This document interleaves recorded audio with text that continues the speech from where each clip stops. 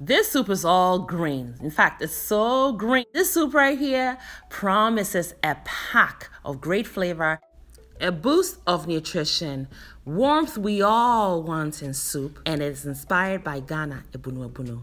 Made under 30 minutes. Friends, let me show you how. I've combined some cured lamb for flavor, some crabs, one salted tilapia, and now throwing on some powdered aniseed. You need one onion split into two, two Roma tomatoes, one green bell pepper without the seeds also split into two, add a little bit of ginger, some garlic, and then some green peas. Green peas are sweet. This soup is super savory. So what an incredible balance. Don't forget your chilies and your momoni. Yes. Now, everything pretty much is in this pot. We are going to just add a little bit of water. Cover the pot and cook for only 10 minutes or until all your fresh vegetables and aromatics are tender enough. Then retrieve all of them and transfer them directly into a blender. So your onion, your ginger, your garlic, the chilies, the bell pepper, which was used as a vessel or a cup to cradle the green peas, and also don't forget the tomatoes. Now we're going to add some water, about 250 milliliters of water. We're going to blend until very smooth, friends. And then we're going to strain right into the pot. Now I've chosen to strain today because I want my soup to be pulp free and to be on the light side in terms of consistency, okay, of the soup.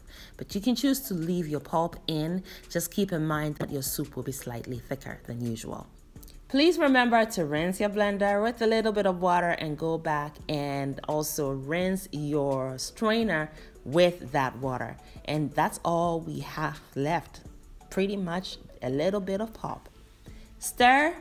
And now we're going to, before we bring this mixture to a boil, we're going to add some smoked fish. And I have washed the smoked fish, split them open, remove some of the bones, but I love the skin because I love the texture of it when it's cooked. Throw the lid on now and bring it to a boil. This recipe requires baby spinach or regular spinach. Back home in Ghana, we would use kontomire, which is taro root leaf. Now, I am wilting my spinach with some hot water. I'm also trapping the heat from the hot water to facilitate the wilting process and the tenderization of these leaves with the hot water by placing the lid on, okay? And leaving it for about two minutes. Then we go and blend everything including the hot water so that we end up with a nice green spinach juice. Time to combine the spinach juice with the soup base. And after this, we're only going to cook about five more minutes, friends. Pretty much bring it to a boil.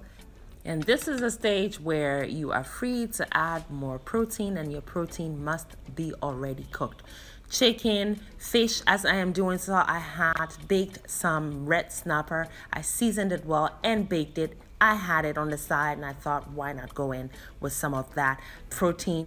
So our soup is not only green but also protein rich. Five minutes into the cooking after adding the spinach juice, we're done and we're serving it over some fufu. You can have the soup by itself Trust and believe me, almost all the ingredients we used in the soup, including the meats and the fish and all of the protein, served as aromatics, if you know what I mean. Bonde aromatic. I love it and I hope you are all inspired to try it. Thanks for watching. Thank you, beautiful person, for watching the video all the way to the end kindly leave me a comment and subscribe down below and don't forget to share the video as well. Also, watch more videos. It is chop time and here in Nanaaba's kitchen, chop time is always yes friends. So pull up a chair. We are all friends and family here.